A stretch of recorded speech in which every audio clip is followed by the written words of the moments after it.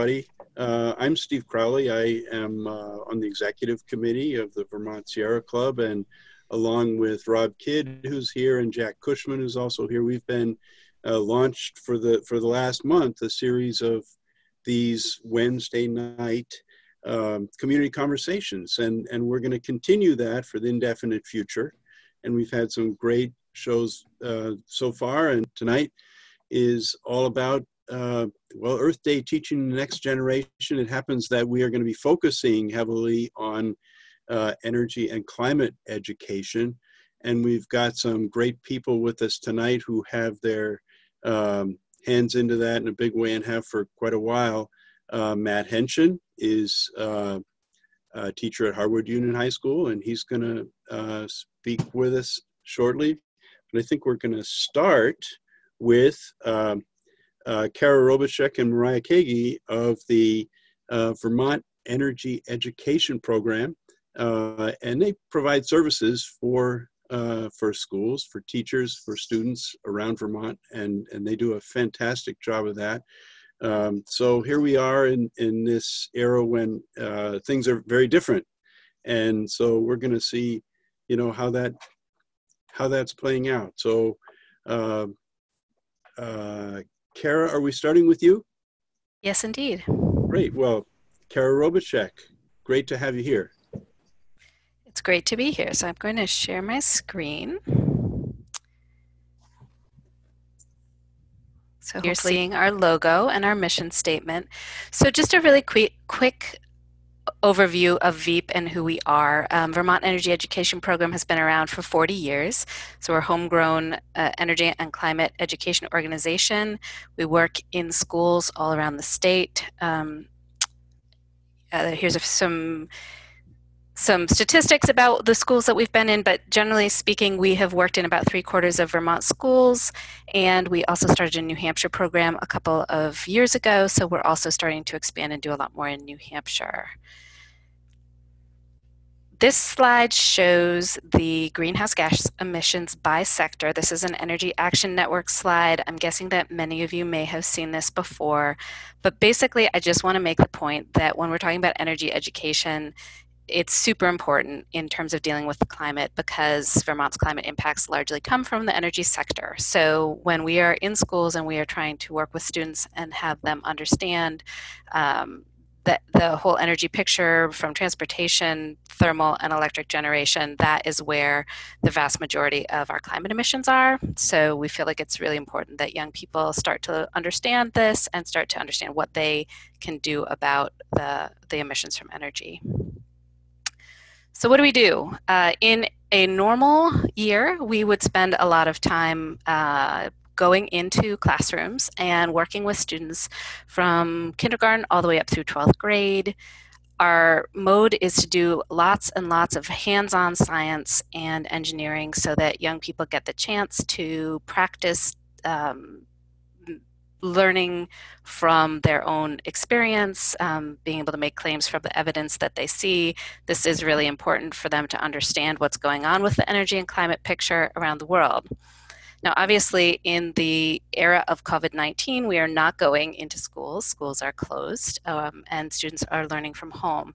So, what we have done is we have turned around and taken our workshops and made them into home learning resource units. So we have those for uh, students of all ages from kindergarten through 12th grade.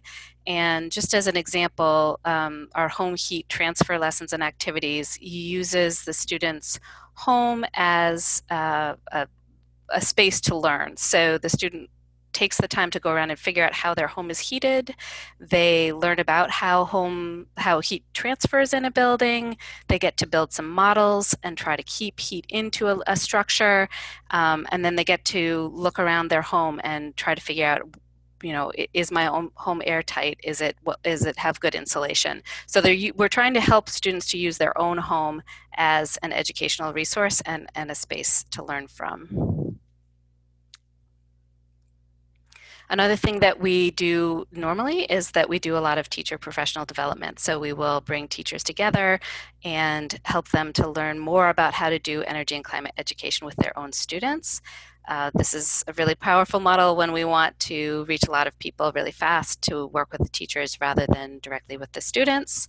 So again, what we are doing in that regard right now is that we have moved all of that online uh, and we are running some three week uh, professional development trainings for teachers where they get a chance to learn from one another and from us about different educational strategies they can use both in the classroom eh, when they're back in the classroom and right now while they're um, stuck in an online environment with their students. So we have, we're, we're in the midst of one of those right now and we have a couple more sections of those starting in May.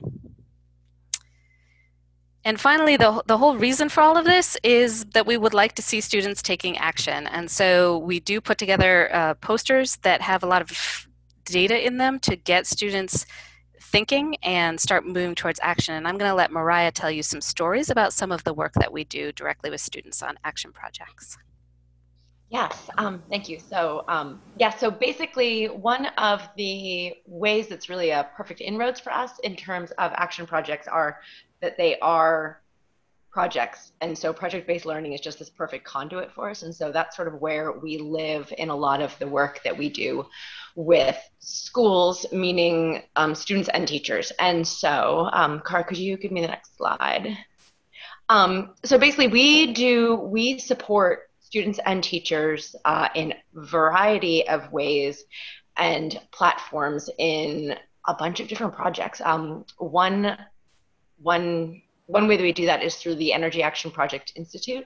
And so I'm just going to share with you some of the projects that students and teachers have worked on with us. Um, so in the transportation sector, we have supported schools doing um, doing pedestrian retrofits, and so that's that photo on the right hand side. For in order for students to be able to bike to walk and bike safely in their community. Um, and then supporting events, um, electric school bus planning in schools for retrofits, and also to help the integration of some of these pilots, as well as some idle-free projects. Um, some other projects that we've worked on in the past with some students and teachers were investigating their schools, so using infrared cameras to and just general observations to see what's going on with heat in their school, and then actually being able to um, sleuth out where where there's issues in the building. And um, some of these students have actually been able to make recommendations for retrofits to their buildings folks about insulation um, and whatnot and uh, yeah so some pretty great projects um, and um, you can go to the next slide um, and then in the sector of, of electricity and electrical conservation, uh, projects around um, plug loads and lighting. Um, and so again, investigating schools and figuring out how we're using electricity and lighting um, or lighting for like electricity for lighting, and then figuring out what uh, what kids want to change in their schools around that. And so, um, so basically, most of these projects are um, are they're they're on the range of either student or teacher driven, depending on sort of who's coming to us. Sometimes an individual student will be will specialist especially with personalized learning plans, will be coming to us with a specific interest. And so we support those individual students, but we'll also support a teacher who might have a class um, or a group of students who start a green team.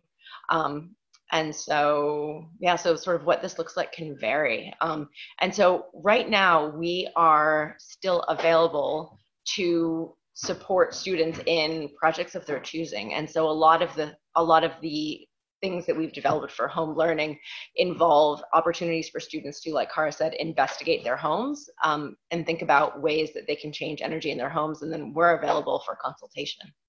So, um, so that's sort of ongoing. So the projects aren't based off of schools necessarily, um, but we're still here. Um, and so we can show how to use tools, but uh, that's the other thing too. We have a bunch of tools that are available to students. And um, real quick, because I know I don't have much time left, um, the other big way that we support action projects is with Youth Climate Leaders Academy.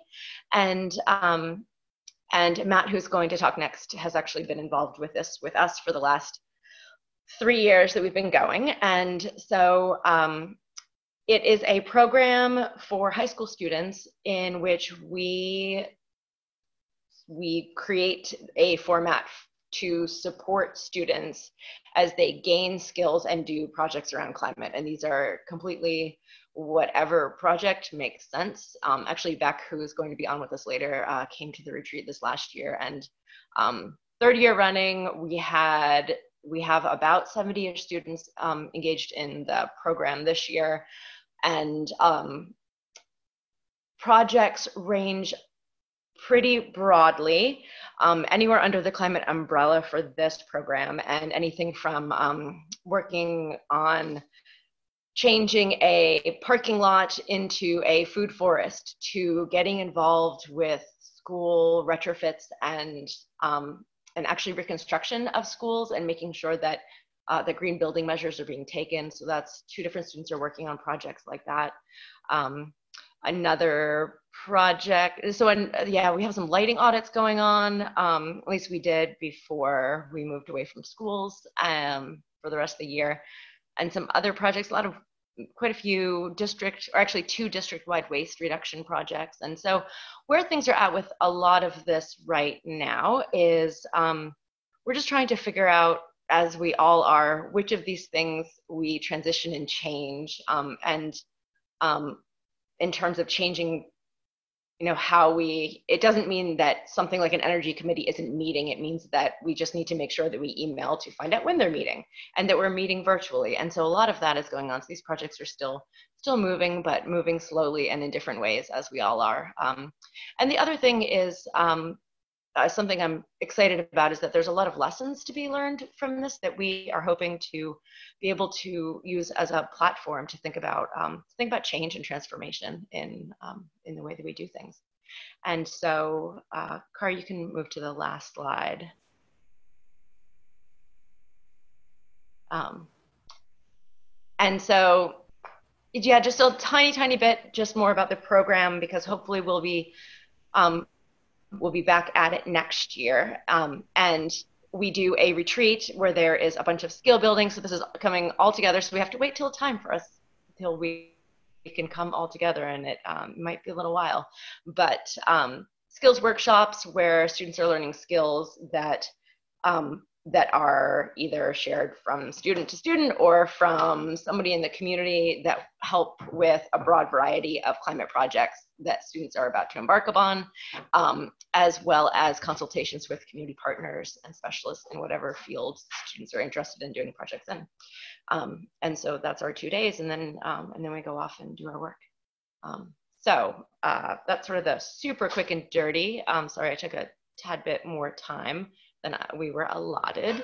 and so I think I'll um, pass it back to Car if you have anything to add, and if not, then we can move on to Matt. Uh, no, we'd just love to be a resource um, if folks know teachers who are looking for this sort of work, and we'll look forward to answering any questions that might arise in a, a little bit. So we're going to go uh, transition quickly here to Matt Henchen.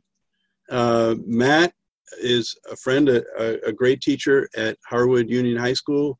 I had the chance to work with Matt a lot when when I was teaching at Winooski High School. He was he and his students at Harwood were the uh, the core group that started up the Youth Lobby Network in Vermont and hosted a series of uh, of, of uh, student rallies at the State House uh, and uh, strongly involved in the Climate Congress that that I have to say really impressed the legislature this year when they came through with their resolution.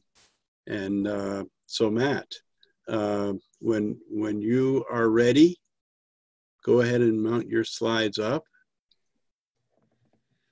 Take the screen here. Yeah. Great.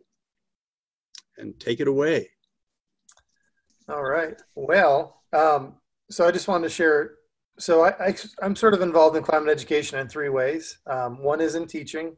Um, the second is as a mentor to the youth lobby. And then the third is, um, you know, trying to do my best to sort of spread the word and, and get involved in more professional development, professional learning communities and that sort of thing. So the first thing um, that I do is I, I teach, I'm a history teacher, social studies teacher at Harwood Union High School. And about, I think seven years ago, I was given the opportunity to teach a course called Creating Sustainable Communities. It's a sophomore civics class at Harwood. Um, and it was founded uh, in response to the sustainability standards that were created in 2001 in Vermont. And I think we were the first state to have sustainability standards. Um, and this class was um, in response to that. Um, you know, I think it's a, it's a unique class because in sustainability education, there's three main spheres you look at. You look at economic issues, environmental issues, um, and then issues of social justice. And I would be teaching those regardless of the class, but it really, it, it was a really great um, inroads into um, climate change. And I think um, one of the things that motivated me the most when I, the, the very first year I started teaching um, environmental issues and climate change, I came across a short film by 350 Vermont, or actually 350.org, um, that Bill McKibben helped put together called Do the Math. And that's one of the critical resources. And Bill McKibben talks about how very important it is um, to, to build and be part of a movement, a larger movement. And, you know, we've been doing outstanding work in Vermont at the local level, at the school level. Um, we've been making, you know, VEEP um, has really led the way in that. I mean, we're talking about, you know, massive um, energy savings, massive cost savings. It's been huge. But as you guys all know, um, you know, individual change uh, is not going to be enough. If we're going to deal with a problem as big as climate change, we need change, you know, from the individual level, the school level, and also a much broader social level.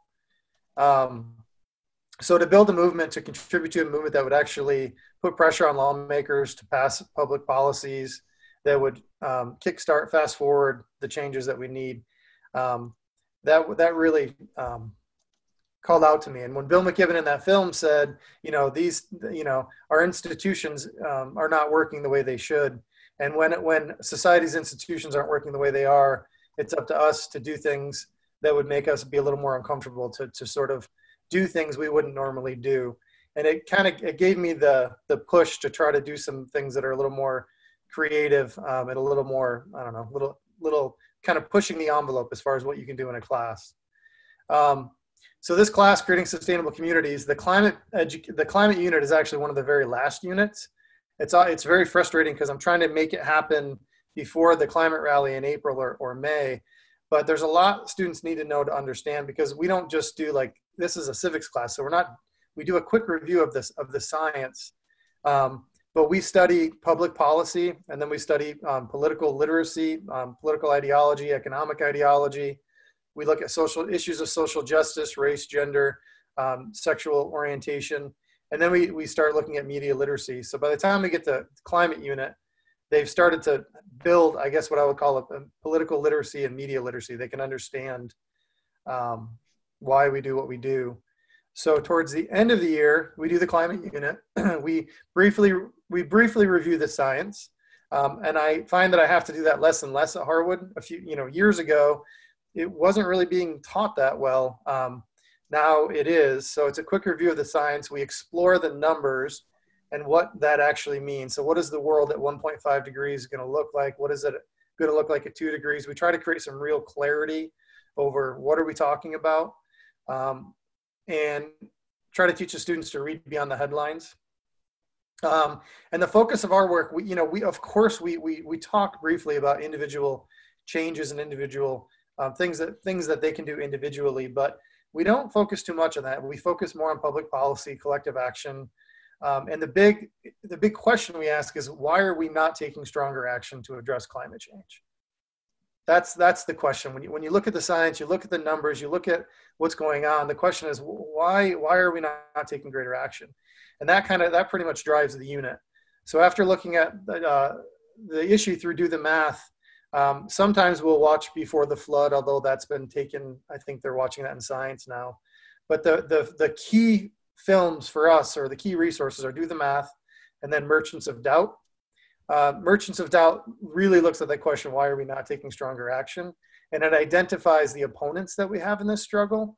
It's important to recognize that it's not just a bunch of people, you know, dragging their feet, that we have uh, some extremely powerful people who do not want to address climate change with this with the same sense of urgency that we might want to, and they and they they deploy a series of tools and, and, and weapons and manipulations, and we um, as a movement have to figure out how to how to push back against that. So, Merchants of Doubt is a very um, very very important film, and it does a great job at doing what I really struggled to do before that film, which is to help students uh, kind of answer that question: why are why are we not doing more? And as part of that, we get into lobbying. We get into the power of corporate lobby. And so years ago, I had a student, you know, we were talking about lobbying, and, and she asked the question, Does the youth have a lobby? And I said, That's a great question. There's got to be somebody that's advocating for, for youth related issues. But sure enough, there was really nothing out there. So we, um, for her project, she, um, she started this website called the Vermont Youth Lobby. And the first year was really nothing more than a website. In the second year, um, we tried to, we went to different conferences and tried to get people involved. In the third year, um, we decided to do something big. I had been doing a lot of reading about change and systems change, and we decided to try to make caring about the climate kind of the cool thing to do. Um, so we, we, we started, um, we had this just crazy idea to have a, a political rally which you know you know bill mckibben asked us to be uncomfortable that was a very uncomfortable thing for a civics teacher to do to bring uh, you know over the first year was 700 students but our highest number was 1500 students um, on school buses to the state house um, to engage in a, a, form of political action um, we've had four rallies over 3500 students from 60 schools um, and quite frankly, I, I, know at Harwood, it's definitely changed the tone in the tenor. You, you, will not find a student at Harwood that doesn't take climate change seriously.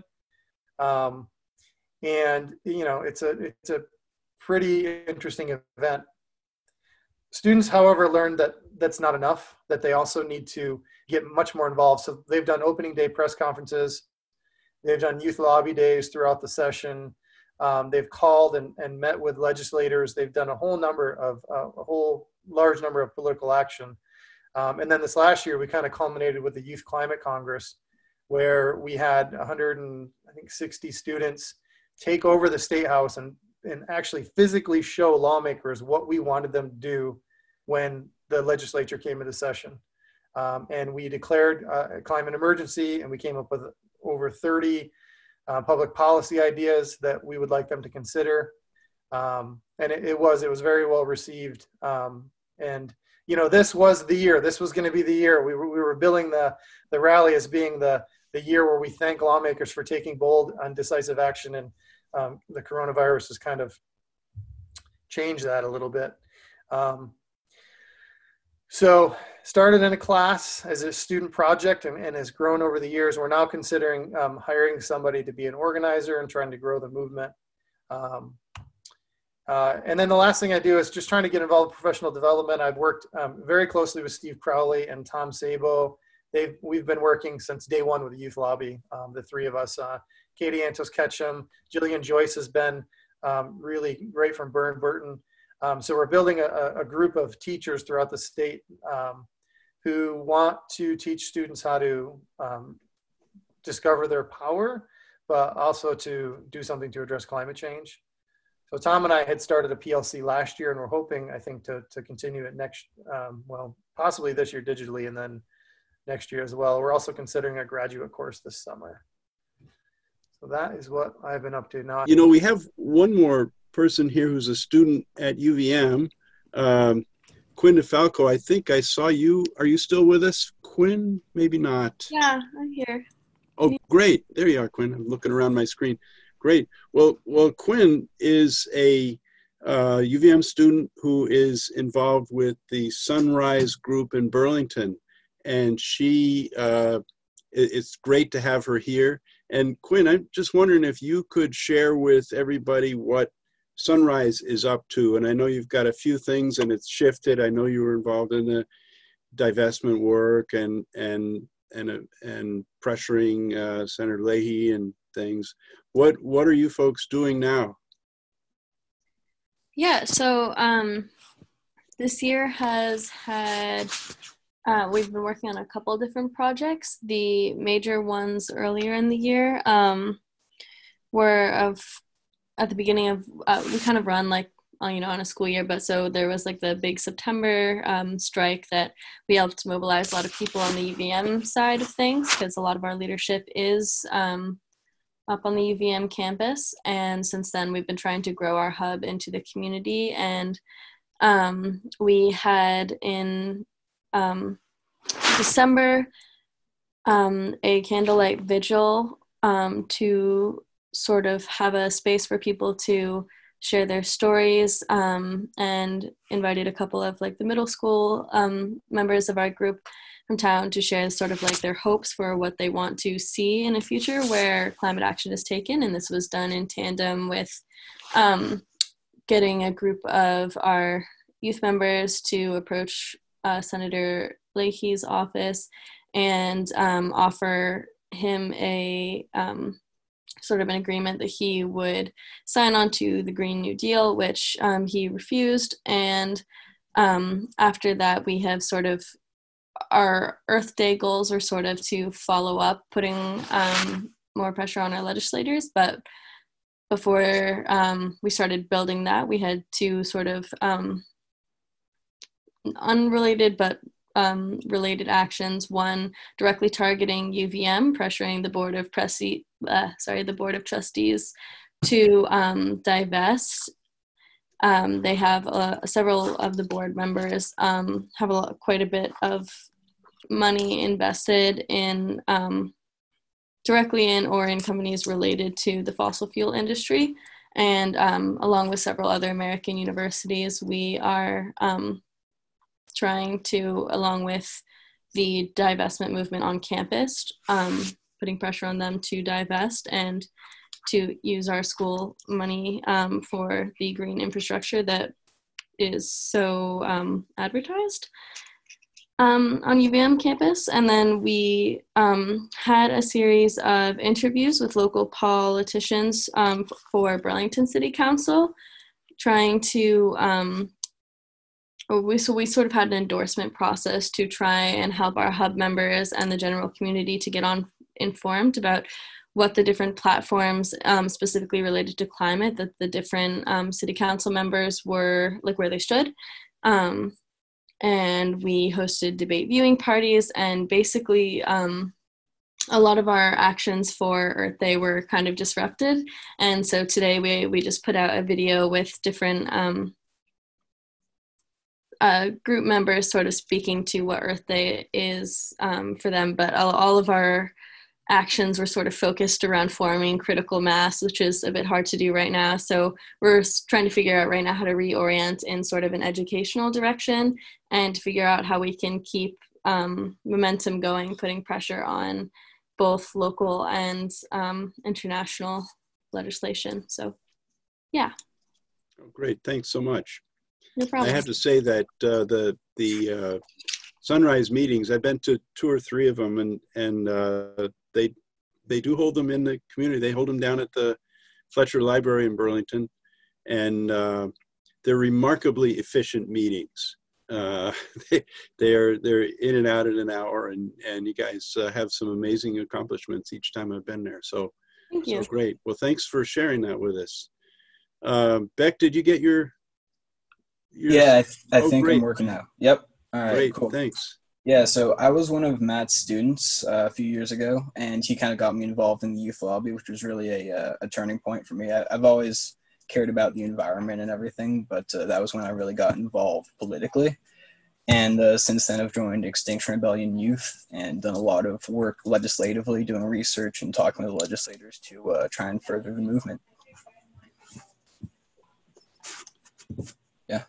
Great, mm. great. So maybe, maybe uh, you know, when questions pop up, we you'll be able to add some of that perspective. There's one other person Absolutely. that I want to uh, call on right now, and that's Lauren Traster. Lauren does uh, work with the 4-H and Extension at UVM, and has uh, a lot of done a lot of work in the energy realm. Had uh, numerous uh, major events at UVM for high school students and others. And I will mention that Lauren shared some of her uh, work with me, and I've placed it at the bottom of the resource document, which I tried to email to everybody just before this started. But if you didn't get that in the email, you'd see over in, in the chat uh, box on the right, uh, there is a, a URL there for a Google Doc that is a resource document.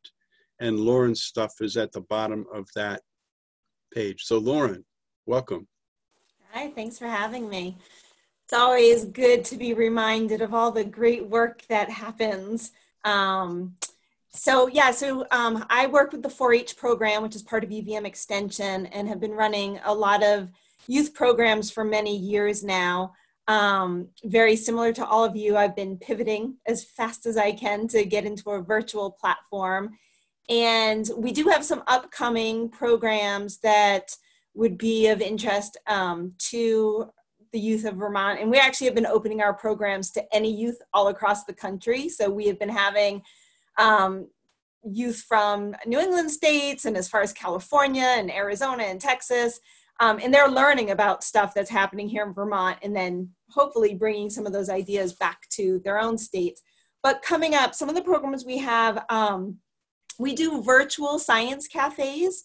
And we have several that are coming up um, over the next several weeks that all have environmental themes to them.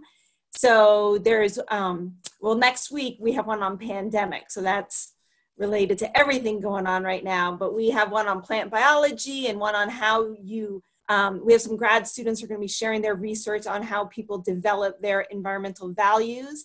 And the one I'm most excited about that just got posted today, I have a friend who is a wildlife veterinarian who has done extensive work with uh, mountain gorillas and is going to be doing a cafe at the end of May on his work. Um, and so it, it's covering a lot of topics. But we do another program called um, Teen Time, Quarantine Time, where we're, um, we just finished a three part series with VSAC on getting career and college ready but now we're moving into different topics, and we have one on May 5th where I'll be talking about two of my programs the Youth Environmental Summit and the Teens Reaching Youth for the Environment program. Mariah is going to be coming to talk about the Youth um, Climate Leaders Academy. And we have um, folks from the Cultivating um, Pathways to Sustainability. So we're going to be sharing those four programs so um, Vermont youth can understand what each program is about and to really see how they connect to one each to one another so that it's not do one and not the other but that they all connect um, and, and, really can create this nice pathway of learning within each program. So with that um, my hope is also to have the youth environmental summit again in november. I'm hoping for an in-person um, but i have plans to move it virtual if need be um, and then the Try for the Environment program, where we trained um, middle and high school students to teach environmental lessons to younger students. Hopefully, we got our knee uh, chopped off at the knees this year. Kids were in the middle of their teaching lessons when school got closed and they couldn't finish their lessons. So hopefully, we can get the program back up and going next year. Um, but that's a neat program. We've trained over 500 teens in the last six, seven years, and they've taught about 4,500 um, elementary school students in those years. So it's a, it's a really vibrant program, and VEEP is one of our partners in that. And I'll, I'll put the Great. website in the chat so people can go look at the programs. Excellent. Thank you so much, Lauren. So, so that gets us to the place where we kind of want to open things up. Uh, if uh, if people have questions, um, you could either uh, type your question into the chat box or just say, I have a question or a comment, and, and uh, we'll, we'll uh, try to get to everybody. Um, so, but I, I, what I what I'd like to start off with is is just in general. Uh, uh, I'm wondering if if any of you folks have ideas of how um, how you feel about relating this the schoolwork you're doing, whether it's in school or at home, to uh, what's happening in Montpelier with legislation. And and you know, it's a big push this year to get a lot of great bills passed. And I'm curious if any of you feel like uh, that was on on track to be successful, or how you feel about that. Were you part of that, Beck? Were you part of that effort?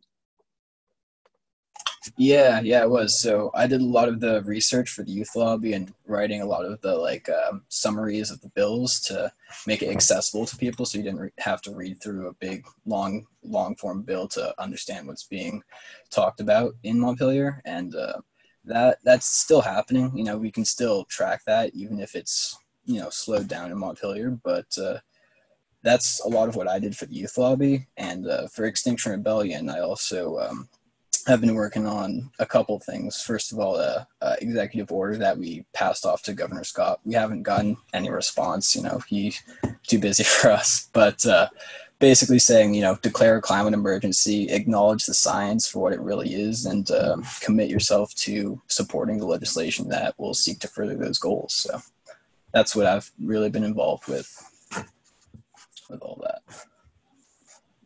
I think I've seen some of what you wrote. It was great. Thank you. Thank yeah. You. Great. Any anybody else have any questions or comments? Uh, Rebecca has posted a comment. Do you want to go ahead and and uh, share that with us, Rebecca? Go ahead and unmute yourself.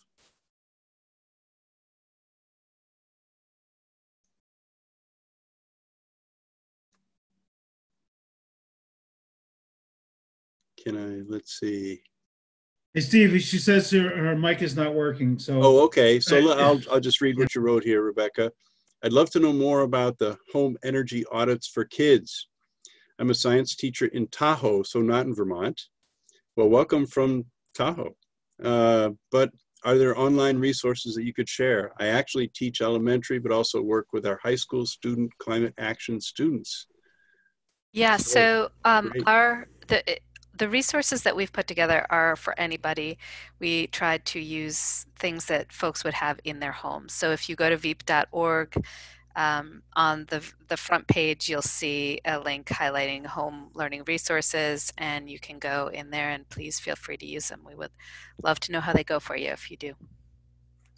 Um, I can also add in there that in terms of particular audits, stuff, we um, Cara and I were just talking about the fact that we're working on on some um, on some high school level home audit audit stuff that's probably going to take a little bit longer. Um, and so the other way to get hold of us just for anybody is on the website. It's info at veep.org. And Rebecca, I don't know if you're if how much you know about Vermont or Vermont institutions, but um, Vermont Efficiency is a government um, uh, entity that is, in effect, an uh, energy efficiency utility um, to complement or uh, the ordinary electric utilities. And Vermont Efficiency might be a good place for you to reach out to. Um, they are very engaged and they do a lot of work where they come into people's homes, look around, tell us what would be the first thing that you might consider doing in this home. And there's a lot of work to be done in Vermont if you want to introduce your students to a place where home efficiency needs are all over the state. Vermont is just such a state, and there are lots of people here who would support that kind of partnership with you. And just to um, make that connection, uh, VEEP does the uh, education work for efficiency Vermont for school age children. So the, the things that we've put together are probably the majority of what they would have for school age children. Excellent. Great, great. Bob uh, has made a note in the comments, everybody, that uh, he's, he's posted a, a URL linking to a video that he recorded of the Youth Climate Congress, which happened in the fall. So uh, is that, uh, Bob, is that the full direct recording or is it edited down? I think it was the full thing. It's like 37 minutes long. So, oh, okay. Um, but um, I just remember being so inspired by the work that the kids did that day. I was there the whole thing, and um, it was just really impressive. That's all. And I, I just tried to capture it as best I could as an amateur um, video, videographer or whatever. Um, just to capture that day because it was just so incredible. Well, you you underestimate your skills. Uh, Uh, did you capture the outdoor press conference? I did. Yep. Um, and the, the cheering of the crowd and mm-hmm. the hair went up on my arms. It was really a moving day. It really yeah. was. Yeah. Uh, did, uh, is, is there anybody else who was there who wants to share more about the Climate Congress?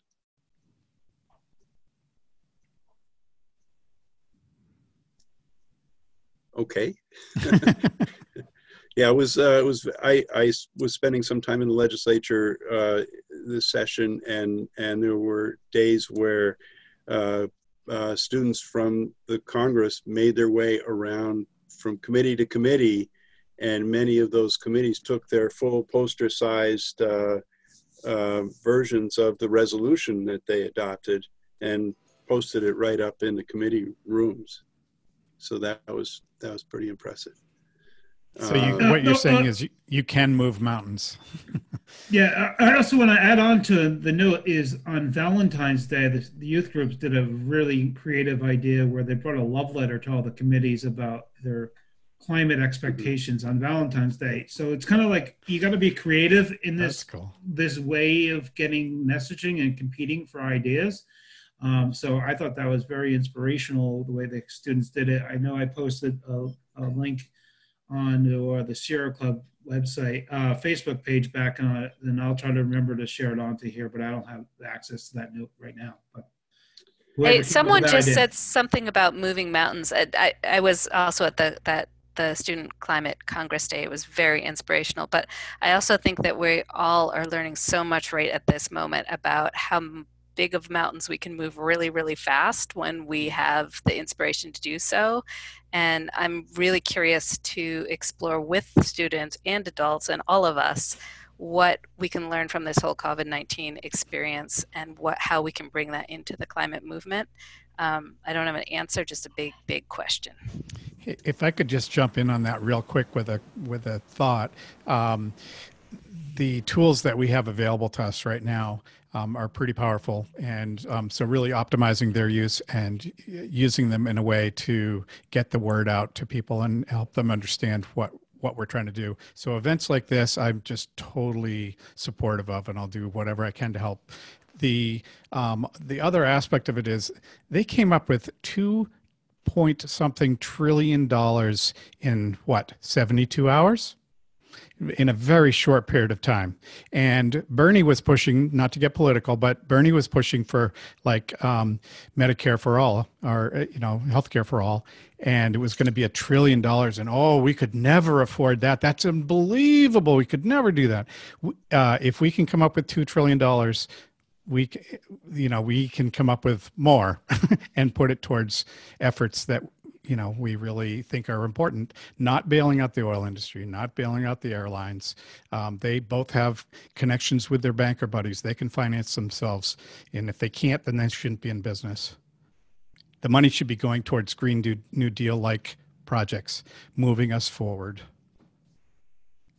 If i do say so myself I will, uh, great. I will just mention, I see a number of people have been putting uh, some links some URLs in the chat box there.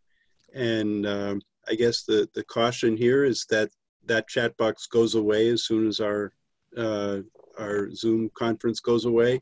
So Actually, what I'd ask you, is if that you, if you press the three dots to the right, at least on a, on a Mac using these, um, I'm using.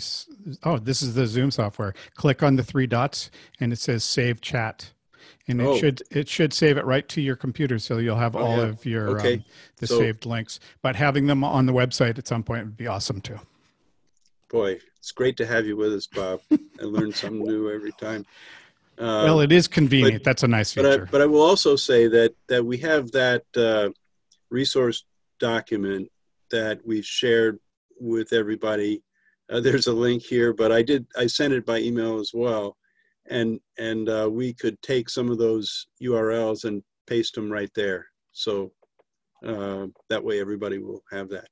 Uh, let's see. I see a, a, a, Daniela. Do you want to share your uh, comment? Can you get yourself uh, off? Uh, there we go. thank you for letting me participate in this. Um, I know, I know Rob Kidd personally, and so that's how I got the invitation. I I'm a homeschool teacher. Um, I do have dogs here, so I hope there's not too much noise in the background.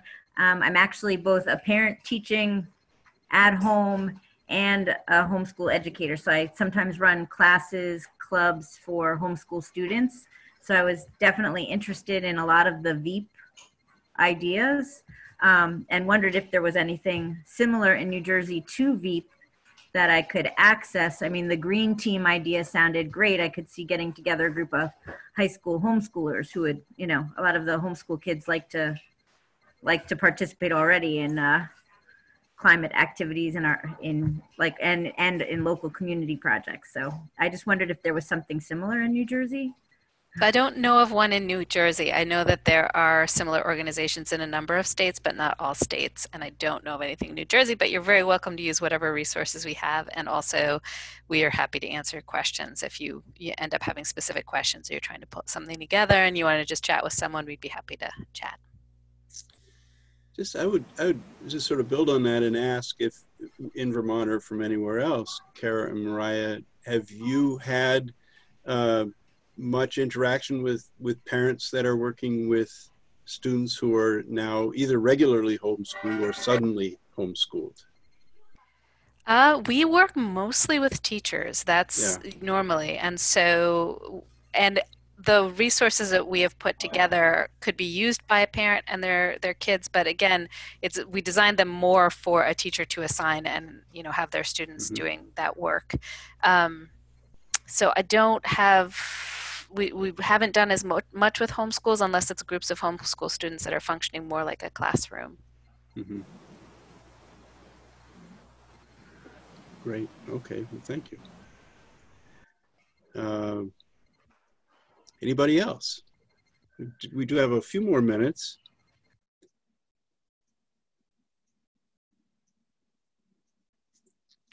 We have somebody just joining us. Um, I'd uh, just like to jump in. I, I mentioned this before we went uh, live and, or before it was recorded. I, and I just want to remind folks that if these issues are important to you, that the sharing the link effectively with people who you think might embrace the ideas that we're sharing here is uh, so so critical. Um, each time it gets shared, it typically, if you share it like on Facebook, it'll hit about on average about a thousand news feeds. Now it'll just go through that person's news feed, and a lot of you know this, but um, but the fact that they'll see it and they'll it'll sort of register with them um, earth day and and the issues that we're talking about and then some of those thousand people will actually click on it and watch it some of them will get engaged and come back to watch another one. And that's how you help build a movement. Getting these things out there it's one thing to to post this as a sponsored post. You've seen them coming through your newsfeed. You can tell the difference between that and one that your friend says hey you should check this out. This is really interesting. This is really important. When you do that you're helping build the movement of doing the right thing on this planet and here in Vermont. So actively and effectively using this this resource of a video like this is it's gold. I mean, it's really really important. So I just wanted to express that. I mean, we've been doing this so long. Everybody's been using Facebook and, you know, but we if we use it really effectively, you can move mountains. You can affect change. So, one at a time, just keep plugging away at it and it does add up. One of the things um, that I want to just bring back from what you were saying earlier, Bob, um, was that when we perceive something to be an emergency, we act pretty quickly on it. And I think the task for us as educators is to finally get the public to think of this as an emergency. So I think the work that you're doing back and and uh, others here um, to try to move things at the higher political levels to get a recognition that this is really a serious problem because very few people are treating this as a serious problem. I'm afraid you're right. And thank you. Um, it is just so important. Just because the COVID 19 issue is on the front burner as it should be, doesn't mean that the effects on the climate aren't still happening. um, and we need to take action. Um, we can chew gum and stick it under our desk at the same time. Um, I never did that, by the way. I never stuck my gum under my desk at school. We know that. Yeah. So, um, I, I have a show coming up pretty soon. I, I think it's going to be next week or the week after with Roger Hill, the climatologist, and he's doing a, um, a live Zoom event for me. We're going to actually have a recording of the presentation, and then at the end, he's going to be available live to to take questions.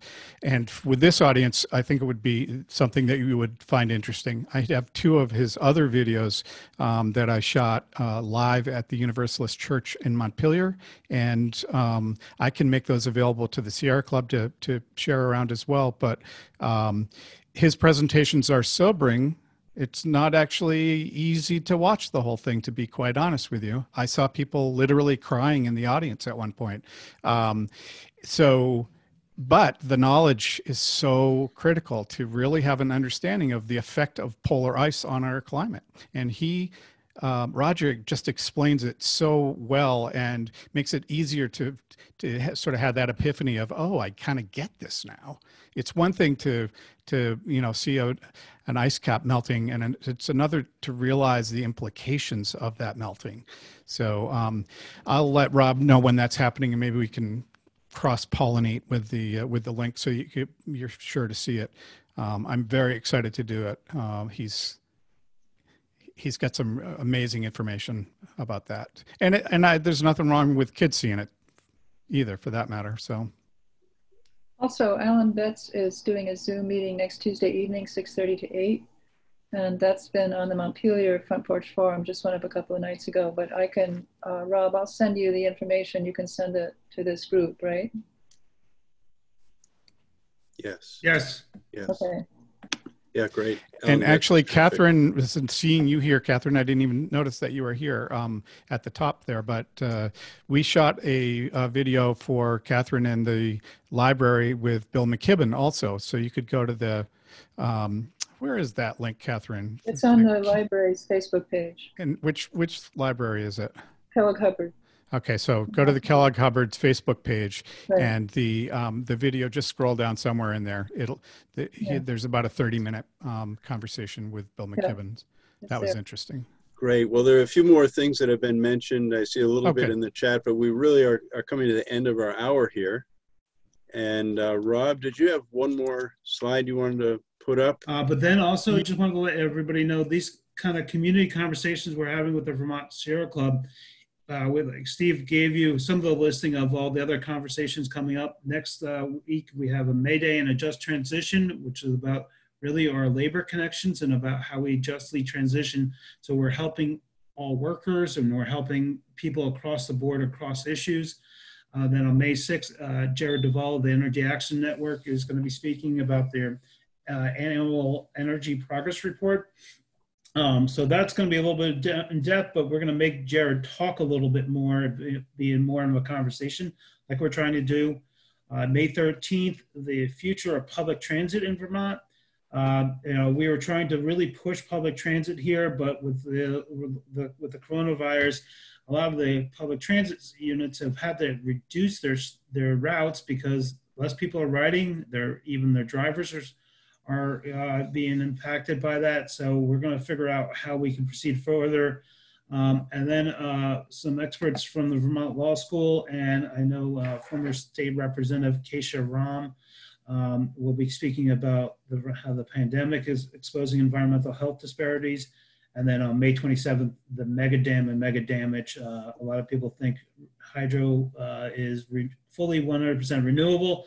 Uh, there's a lot of falsities around that.